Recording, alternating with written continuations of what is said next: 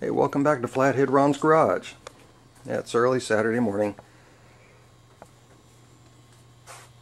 Yeah, I just had to come out here and play around and show you what I've got done so far. I've got my 220 coming out of the bottom of the cabinet there over here and it's going towards my phase converter and my load center area over there. Um, I've got the three-phase run into the breaker area on the abrasive one and a half. I've got the motor leads run in there and I've got part of the conduit for the motor switch which is going to mount on the other side. Right there. And it's still sitting down there in the box. There's my idler for my three-phase. I've got the wires up to it but I don't have them connected yet.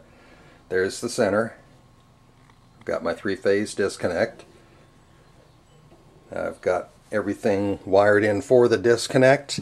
I've got a little clip on here. That's not hooked up, but might as well get into the habit now. I've got everything already wired up according to the diagram. That part I can handle. It's just the 220 in and the three-phase here. I realize it might be really straightforward, guys, but I would feel so much better that someone that had some electrical experience wired this up for me. So I put the word out and I'm just waiting for someone to come over and give me a hand with this. Anyway, there's my other parts for my converter. I got the shop cleaned up just a little bit today. And I moved some stuff out.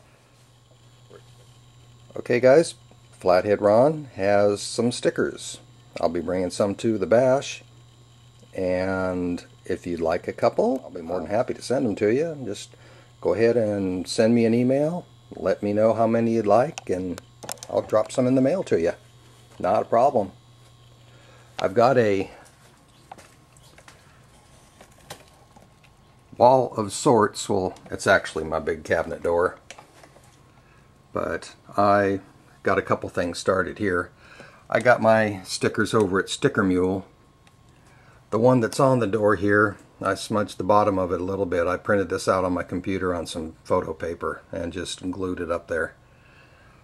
Tom at Hilltop Machine sent me my first sticker. So, my sticker wall started. If you'd like to send me a business card, I'll put it on the door next to it. Yeah, this is what I do on a early Saturday morning. I got these books in the mail from one of my viewers. He's got a YouTube channel.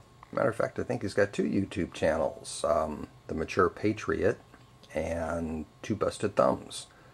As Vernon, I do thank you very much for the Machinery's Handbook, that 21st edition. Beautiful condition and the use of handbook tables and formulas based upon the 21st edition, the amateur's lathe.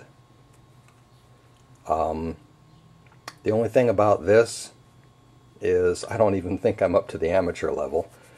But anyway, and a machinist practical guide, which has got a lot of handy tables and formulas. And how to grind twist drill bits, how to do all kinds of stuff in there, and I'm going to be spending a lot of time in that book too, I can tell. Yeah, I got somebody stopping by today. I'm going to toss them a few goodies and yak at them for a minute and let them check out my shop, and I'm sure you might see it on his channel. So, that's all for today, guys. I hope you have a wonderful weekend. And I'll see you next time I'm on the... Oh, what the heck am I trying to say? I don't know.